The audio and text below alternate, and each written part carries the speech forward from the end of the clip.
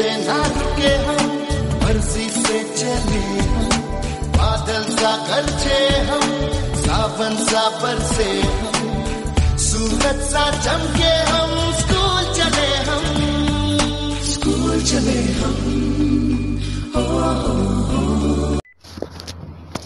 Good morning students welcome in N S K of I T classes आज हम communication skill का chapter number five six करने जा रहे हैं, जिसका जो टॉपिक है saying no to refusal skills मतलब आपको एक बहुत अच्छी आदत है कि आप नो कह सकें किसी को भी। तो अब इसका मीनिंग क्या है देखो। You may learn about assertive communication जैसे पिछले चैप्टर हमने हमने असर्टिव कम्युनिकेशंस के बारे में पढ़ा था कि असर्टिव का मीनिंग कि आप अपनी बात को फुल कॉन्फिडेंस के साथ किस तरीके से रख सकते हैं? One of the important way of being assertive is learning to say no उसी असर्टिव कम्युनिकेशन का एक पार्ट था no without upsetting others you have faced situation where you want to say no आप बहुत बार ऐसी सिचुएशन फेस करते हैं अपनी डेली लाइफ में जहाँ पे आपको क्या करना पड़ता है? No but found it difficult to say as you did not want to rude और अपसेट द अदर पर्सनस लेकिन उसको इस तरीके से कहना है कि वो दूसरों को ना तो आपको अपसेट करना है, ना दूसरों को अपसेट करना है रूडली भी नहीं कहना है। एन एग्ज़ाम्पल जैसे कुछ आप ये चीज़ें एक एग्ज़ाम्पल के रूप में यूज़ किया गया है, जो फिगर वन पॉइंट सी है। Can I borrow your pen जैसे कई बार आपसे, जैसे नॉर्मली सिचुएशन आ जाती है कि आपसे कोई पेन उधार माँगता है। हम ओके यस तो आपने क्या कह दिया? Yes then I could not complete my work because I give you my pen I could not complete my work अब उसने क्या कहा? मैं अपना काम पूरा नहीं कर सकता अगर मैं तुम्हें पेन दे दूँगा तो। But you did not you tell me that you needed the pen but why did not you tell me तो तुमने मुझे क्यों नहीं कहा दैट नीडिड द पेन कि तुम्हें मुझे पेन की ज़रूरत है? It's not wrong to refuse there are many ways to saying no politely बहुत सारे काम हैं कहने के तरीके हैं जिसमें हम आराम से उनको क्या कह सकते हैं? नो no कह सकते हैं। I didn't want to make you angry और बी रूड कि मैं तुम्हें नाराज़ नहीं करना चाहता था और रूड भी नहीं करना चाहता था। Now you may not want to make the other person upset और एंग्री यानी आप दूसरे लोगों को अपसेट भी नहीं कर सकते हैं और उनको गुस्सा भी नहीं दिला सकते हैं। You may not want to start an argument और seem unhelpful you may not want to start an argument आप कोई आर्गूमेंट नहीं कर सकते हैं उस टाइम पे, ना ही आर्गूमेंट करना चाहते हैं और ना ही अपने आप को हेल्पफुल महसूस करेंगे। अनहेल्पफुल महसूस करेंगे। You may not want to be left out और ग्रुप ऑफ़ ए टीम और आप अपनी ग्रुप या एक टीम को छोड़ के भी नहीं जाना चाहते हैं। तो इस केस में कई बार ये प्रॉब्लम आ जाते हैं कि हम किस तरीके से अपने आप को नो कहें, वो बहुत इंपॉर्टेंट है। Now how to say no कि आप नो कहोगे कैसे? तो वावल्स होते हैं हमारे पास पाँच, उन्हीं तरीकों को आप अपनाइए ए ई आई ओ यू जैसे अगली जो टेबल आएगी, उसमें how to say meaning of the A I O U का मीनिंग क्या है, कैसे कहना है, वो चीज़ें विद एग्जांपल आपको समझाई गई हैं। जैसे देखिए फ़र्स्ट वन ए ए का मीनिंग क्या है? आस्क क्वेश्चंस क्या कुछ क्वेश्चंस पूछिए? जैसे मान लो आप कोई सिचुएशन आ जाती है, जहाँ पर आपको नो कहना है। तो आप पोलाइटली कुछ क्वेश्चंस पूछिए ask question to find out the important it task is before saying no यानी उस काम के बारे में इम्पोर्टेंस पूछिए कि उसकी इम्पोर्टेंस क्या है नो कहने से पहले। Then why do not we why do we need to leave school और work early why can not we go after school और वर्क मतलब नॉर्मली क्वेश्चन पूछा आपने कि and then why are not you going to do it आप ये करने के लिए क्यों नहीं जा रहे हैं? It is correct for me to do it क्या ये मेरे लिए सही है? मतलब आप नॉर्मली क्या पूछ रहे हैं? जो भी बंदे से आप नो कहना चाहते हैं, पहले उससे क्या पूछेंगे? क्वेश्चंस पुटअप करिए। Then engage by using polite statement उनको थोड़ा सा व्यस्त कीजिए, आराम से बात करते हुए।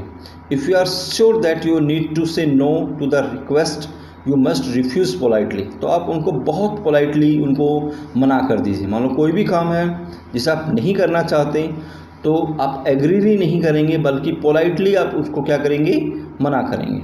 I would like to go with you मैं आपके साथ जाना चाहता हूँ हिज और हर हाउस यू बट कोई भी एक रीज़न दे दीजिए।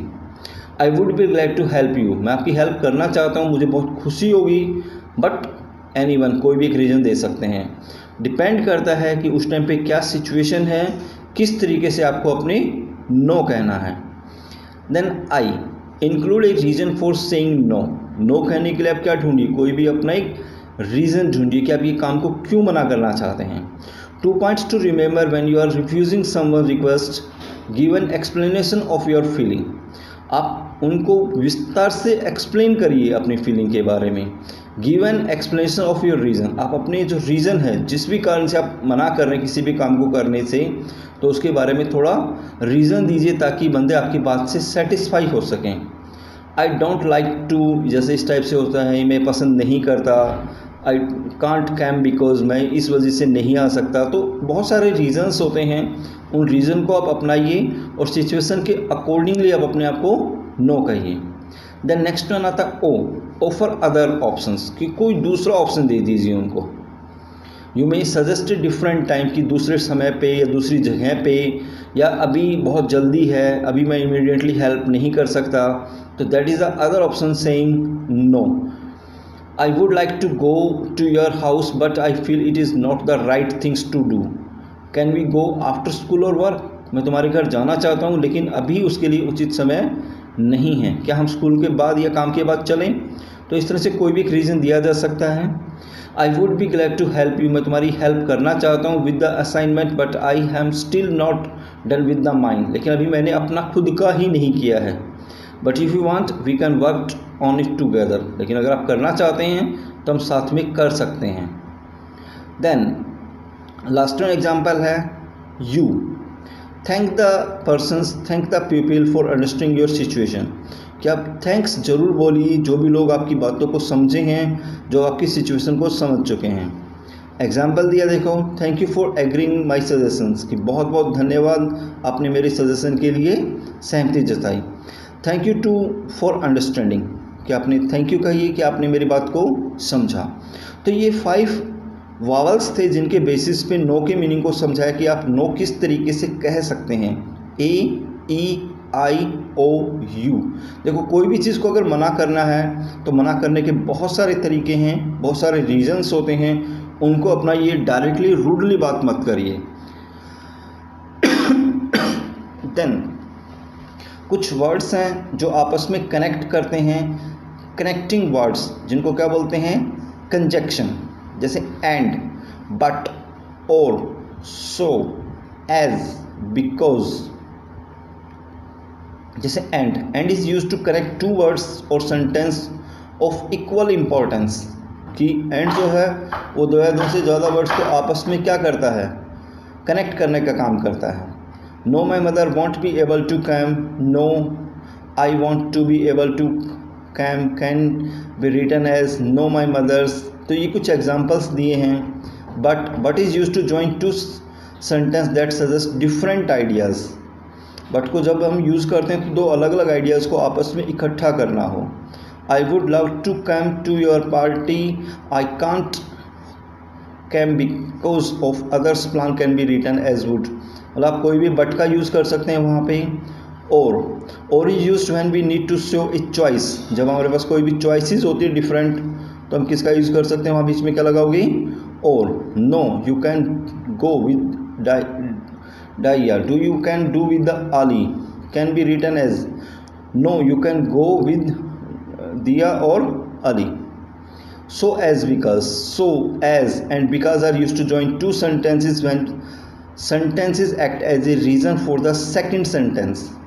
I have a meeting कि मैं किसमें हूँ? मीटिंग में हूँ. आई कांट कैम कि मैं नहीं आ सकता. Can be written as I am meeting so I can't come मैं मीटिंग में हूँ, इसलिए मैं नहीं आ सकता। तो ये कुछ कनेक्शन वर्ड्स हैं। तो ये हमारा आज का चैप्टर था, जो चैप्टर नंबर सिक्स है, जिसमें हमने ये कहना सीखा कि नो किस तरीके से आप यूज़ कर सकते हैं। तो बहुत ही एक इंपॉर्टेंट टॉपिक है, बहुत ही आगे इन लाइफ में आपको काम आएगा कि आपको किसी भी को भी नो कहना है तो आप किस तरीके से नो कह सकते हैं। तो ये हमारा चैप्टर नंबर कौन सा होगा स्टूडेंट्स चैप्टर नंबर सिक्स